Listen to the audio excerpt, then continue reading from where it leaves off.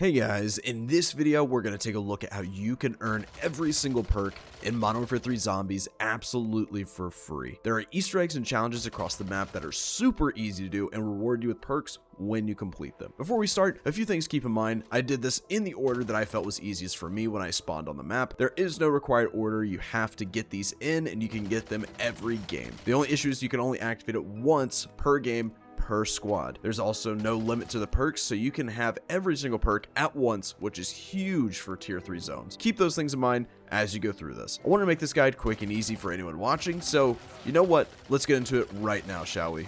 First one I'm going to show you is Quick Revive. Grab yourself an ATV and get to the road that's southwest of Hadiqa Farms. Once you're on that road, you'll see two large overhead road signs. For every one of these challenges, you'll see a toy rabbit, and in particular, the rabbit is on the top of these signs so you'll know you're in the right place for Quick Revive. Take your ATV, park under the north sign facing towards the south sign. Once parked, you'll hear a laugh from the toy rabbit like so. As soon as you hear that laugh, head straight for the other side. If you stop, run into anything, maybe hit a couple zombies that slow you down, then you probably won't make it in time and will need to try again. Don't freak out though, it's okay. Just repeat the process. You'll be completely fine. You can do it as many times as you need to. Make it to the other side quickly though, and you'll have yourself a nice little quick revive to assist you in healing yourself and rezzing your teammates.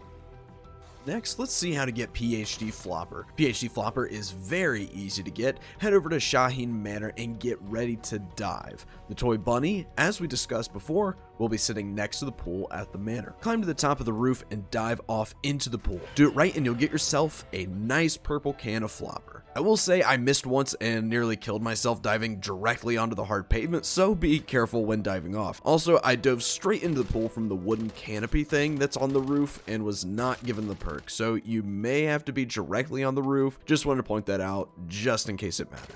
Thirdly, time for some Tombstone. Luckily, Tombstone is super close to where PHD is located. This does require a scope on a weapon, but I was able to find an SPX with a scope right here at Shahin Manor. Head west of Shahin Manor and go to the building that is still under construction. Head to the top and aim with your scope at the toy rabbit on the crane like I am here. You'll ping the rabbit and it will jump scare you. Most guides leave this out as a joke, but I'm nice, so you're welcome. And that's it, Tombstone acquired. What I will say is that when I initially pinged the rabbit, it didn't appear in front of me for a few seconds. There's like a little bit of a delay, it feels like, so just keep trying to ping. I also had to make sure I held my breath so my scope would stay steady as well, so just keep trying, you'll get it. Now let's get some Stamin-Up. Please keep in mind this is a tier 2 zone, so be careful. A rare rarity weapon or even an upgraded weapon might be useful in case you run into any zombies. Head to Zaravan City, look for a tall building that's right across from this cafe bistro place. Hop through the window like so and go to the second door where you'll see a bunny at the bottom of the stairs. Run to the top as fast as you can. Don't stop sprinting. If you stop or start walking, etc., then it will not work. So you can tac sprint or normal sprint. And as long as you do that the whole time, you get some stamina. I didn't personally have any issues with this one. I feel like it's pretty easy as long as you sprint the whole time and the rabbit is there at the bottom of the stairs. You should have no issues. Now let's reach for some Juggernog at the campfire. For this one, you will need a Molotov. I personally just searched around until I found one, but if you have a better method, then by all means. This is also in a tier 2 zone, so please use caution. Located on the west side of the map, north of where we just got Stamin-Up, you'll find a little campsite around where I put my marker. It's kind of like right in the middle. You'll see our favorite bunny sitting by the fire toss your Molotov in the middle of the fire, and grab some Jug. Pretty easy way to get some extra health, right? Nothing's really wrong with this one. Pretty simple. All that really matters is getting that Molotov, which surprisingly actually took me like an extra 10 minutes. So yeah, if you just find one along the way, you're getting the other perks, then definitely hold on to it and stow it in your inventory. Next, let's get some Death Perception. To find Death Perception, you'll head north to two large smokestacks, climb the most west smokestack to the very top, and once at the top, you'll notice this weird ring structure southeast from you. Jump off and fly to the left side of the structure and go through each of the three rings.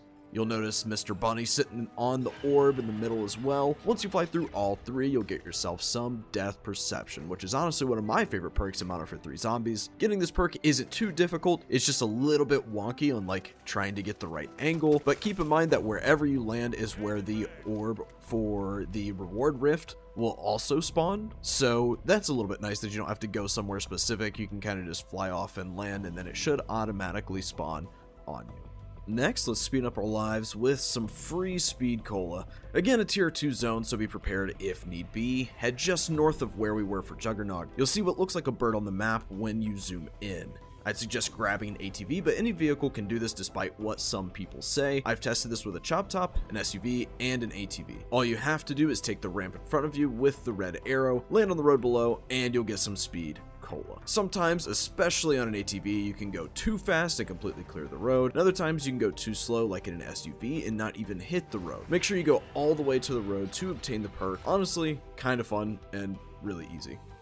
Finally, let's get some Deadshot Daiquiri. Wanted to make a quick disclaimer, my footage is broken up here, so it doesn't show me with all the perks in the game, but I promise you, there is no perk limit and you can receive them all in a single game. I just literally forgot in my other footage to grab Deadshot. For Deadshot, you'll want to head to the church on the east side of the map, close to the marker I have here. At the top of the church, our rabbit friend awaits an explosion. Sorry, for some reason I don't have footage of the rabbit, but if you climb to the top, you'll see him. We need to toss explosives through the window. I would suggest Semtexes because they are much easier and actually will stick to the surface. I tried grenades, but they kept bouncing back and just wouldn't work for me. Uh, you can bring Semtexes in if you have them unlocked, or you just find some on the map, which is what I personally had to do. Stand exactly where I'm at, hop on the rock and angle your Semtex just right, toss it in, and you'll get yourself some Deadshot. Keep in mind, there is an ammo depot right in front of the church, so if you run out of Semtexes, just go refill at the depot, you'll be just fine. So, you're probably asking yourself, Nick, what about Elemental Pop?